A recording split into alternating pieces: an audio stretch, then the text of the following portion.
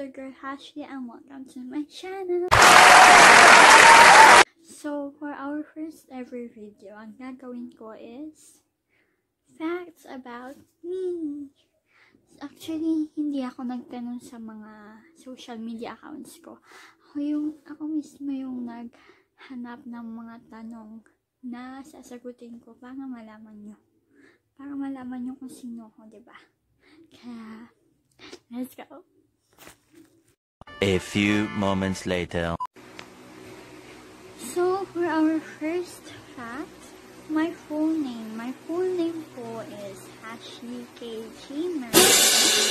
My age is 16 years old and turning 17 po on August 8. My grade po for today is grade 11 but turning grade 12 po this coming school year. And my school po is University of Perpetual Health, System Galta, Las Piñas Campus. Shout out sa mga klase ko dyan sa Perpetual, 11 STEM 8. My hobbies or talent po is matulog, kumain, and magsayaw po. So, dancing po is my talent. Relationship status is I am single. Social media's account, here's my Facebook, my IG, my Twitter, and my TikTok. Addiction. Madami akong addiction. Mahilig ako sa milk tea. Wow! Ang coffee, McDo, ang mga pabango, t-shirts, tapos Blackpink. Yan. Dream or goal in life ko. Ang dream ko is makapag tapos or goal, makapagtapos ng pag-aaral. And mag-travel and maging successful in the future. Ang favorite colors ko is blue and black. Ang favorite movies ko is ano, Hachiko, Titanic, Justice League, and The House of Art. Favorite Filipino singers or band ko is Ben and Ben, December Avenue, this band, I Belong to the Zoo, si Ate Sara Geronimo, si Michael Pangilinan, um, si Ate Yen Constantino, Moira de la Torre, and Ate Julie Ann Sanse. Ang favorite American ko naman, singers or band, is si Ariana Grande, Dua Lipa, ang Voice Avenue, ang Little Mix, si Taylor Swift, si Beyonce, si Avril Lavigne, si Demi Lovato, si Charlotte, and si ang Lainey. Siyempre, kung may Filipino, may American singers, hindi mawawala sa akin ang Korean singers. So, ang favorite ko dyan, Korean singers or band, favorite ko is si IU, Kim Taeyeon of Christian Nation, si Ailey, um, GOT7, ang BTS, ang ITZY, and ang, syempre, my number one, ang Blackpink. Ang dream travel ko naman is Maldives, Palawan, Siargao, Boracay, um, South Korea, Japan, New York, Singapore, and Hong Kong.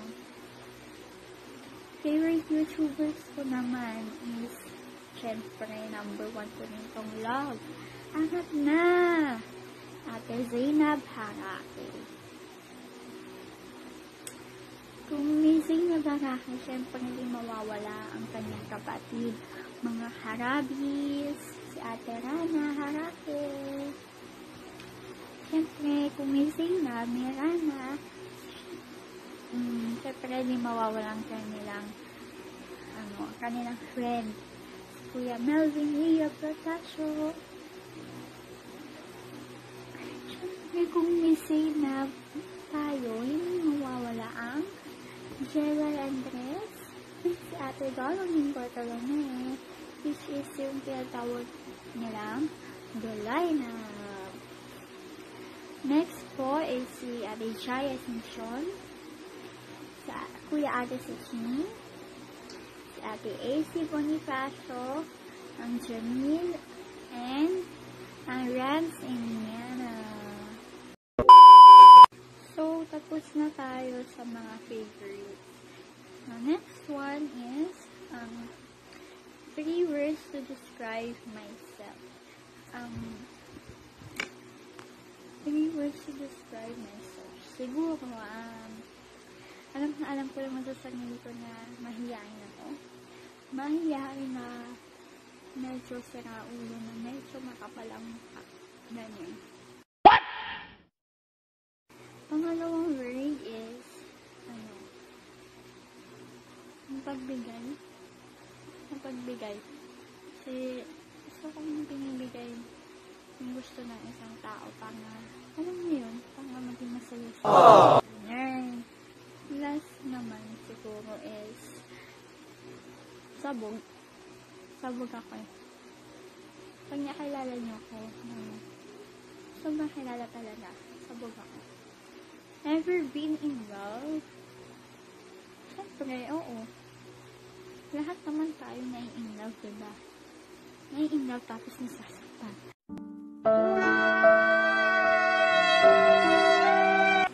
Embarrassing moment. Ano, nung nasa SM Sangandaan kami, sa Caloocan. Kasi bumili kami ng milk noon sa Gongcha. Eh, ah, eh, ano, tawag doon? Natatawa ano, um, kasi akala ko walang salamin doon sa side. Tapos, tuloy lang ako sa paglakad. Kasi, nauntog ako. Tapos, tapon yung milk tea, yun yung, ano, yung, yung sina- nasayang ko talaga, naiinis ako. Traits, personality traits that I hate sa mga tao. Tatlo lang. Um, mayabang. Siyempre, naiinis ako sa mga mayabang. Makukulit din. Yun, kung nasabi na niya kanina, tapos sasabihin na naman diba? Nakakainis yun. Naiigat ako. Alam, narinig ko naman eh, kaya sasabihin ko naman sa inyo kung hindi ko narinig, diba? Ganun. um, last one is, so, meron tayong mayabang, meron tayong makulit. Siyempre, meron din tayong sinungaling. Nanginis ako sa mga sinungaling.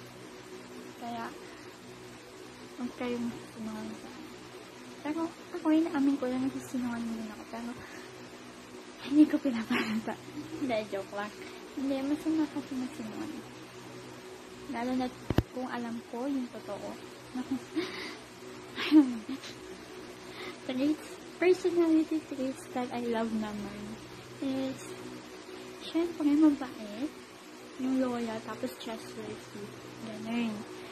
Best moments in my life. Siguro nung, ano, nag-moving up kami, grade 10 ako. Tapos, syempre, makita ko yung stage, nabigyan ako ng medal ng nanay ko. Ganun. Biggest fear ko is mawala yung mga mahal ko sa Ganun. Tapos, biggest fear ko din yung ipis. Naiinis ako dun eh. Niligil ako sa kanya. Kaya, biggest fear ko siya. So, last one ko is reasons why I joined or entered YouTube. Siguro ang reason ko why I why I entered YouTube kasi naboboard ako dito sa bahay kasi ngayong quarantine, 'di ba? Nasa bahay lang tayo. Bawal tayo lumabas. Kaya ito na lang, ito na lang yung gagawin ko dito sa bahay. Paano may may pagkabisihan man, may pagkabisihan man din ako, ganun. Para may gawin, 'di ba? At saka, matagal ko na din itong pinag-iisipan actually. Kaya, eto, nagkaroon ako ng lakas ng loob para, ano, gumawa ng YouTube channel. So, ayun guys. Tapos na po ang ating video. Sana, sana na nakalala nyo ko and sana Um, sana tanggapin niyo ako dito sa YouTube industry. Ganun. So, don't forget to hit the like, share, subscribe, and comment down below kung ano yung mga gusto niyo gawin kong videos or challenges or kahit ano, ganun. And, don't forget to click the notification bell for you to be updated for my upcoming videos. Bye guys! Stay safe!